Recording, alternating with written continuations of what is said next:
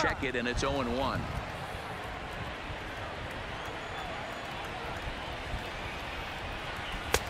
A swinging strike, and now it's 0-2.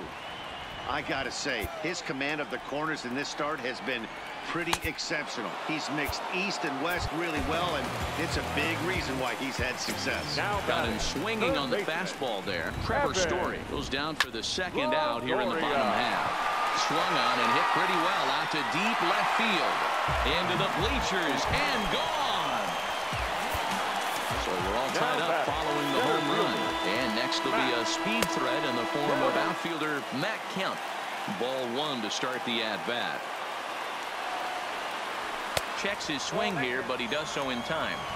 We've seen him go down on strikes more than once in this game, so this has been a better approach by him at this at-bat. Much more patient, and he's gotten himself into a good hitter's count.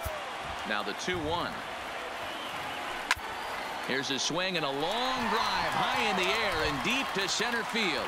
And that'll get down out there near the wall. And he will pull into second with a two-out double. Ready for another shot now, Edward LeBron. He'll try to follow up the double in his last at-bat with another big hit right here. And this is going to find the alley as he might have himself his second double of the ballgame. The throw into second. But he'll get in there with an RBI double. At the plate, Rickey Henderson. No hits to this point. Hoping to keep this a one-run game. The pitch.